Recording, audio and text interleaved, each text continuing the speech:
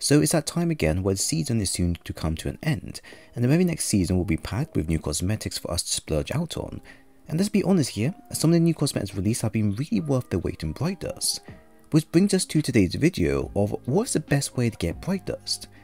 If you don't want to use silver and rather use bright dust, then you'll want the best method of doing so that will be quick, simple, and not take up your time. Here are a few ways you can achieve this for every season. To start, we have the tower vendors you can rely on for getting bright dust quickly. Zavala, Shaxx, and Drifter all have weekly challenges for you to complete, which is usually complete X of bounties and hand them in. Doing so will give you 120 bright dust per character on a weekly basis.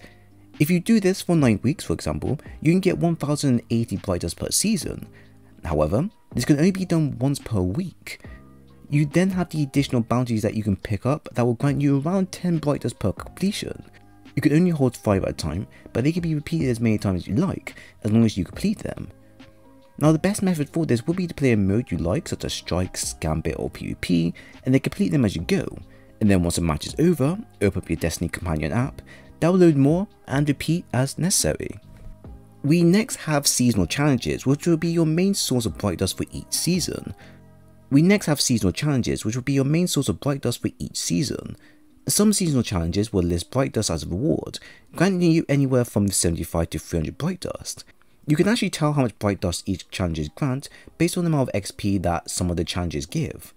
Challenge XP Plus, for example, gives 75 bright dust. A Challenger XP Plus gives 150 bright dust, and Challenger XP Plus gives a 300 bright dust. Completing a full week or seasonal challenges grants a large sum of bright dust, so it's a good idea to complete as many of them as possible, and completing up to 75 of them will grant you a large bright dust pile, giving you around 4000 bright dust in total. If you're fine with slogging through these, then this will be the best method of getting rich quick as you'll earn up to 10,000 by the end of the season. We next have the season pass, which is what you get each season and is split into two groups, free and paid. If you prefer the free route, then you get around 7,500 bright dust from leveling up, while pay players can get up to 10,500 bright dust, so an extra 3,000 bright dust added. This of course is still a lot for many players and I highly recommend you get the paid version instead as that will yield you more extra for playing. But of course, this is more down to you. And then lastly, we have seasonal activities, where every few months, Eva Levante will come to the tower with some seasonal rewards and activities for us to do. She will have weekly, daily and repeatable on her, with the weekly given 200 bright per character. Depending on how long this season will last, you can get around 1200 bright per week if you do on each character. Keep doing this along with other bounties, and you will have enough to buy the seasonal cosmetics that get showed for that duration.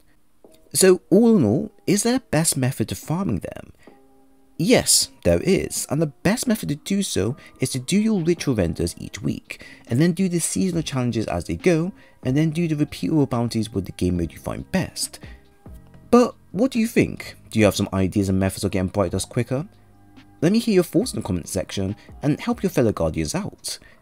So if you enjoyed the video, then please leave a like and a sub, and also follow me on Twitter to keep date with more Destiny content. Once again, thanks for stopping by, stay safe, and I'll see you all in the next one.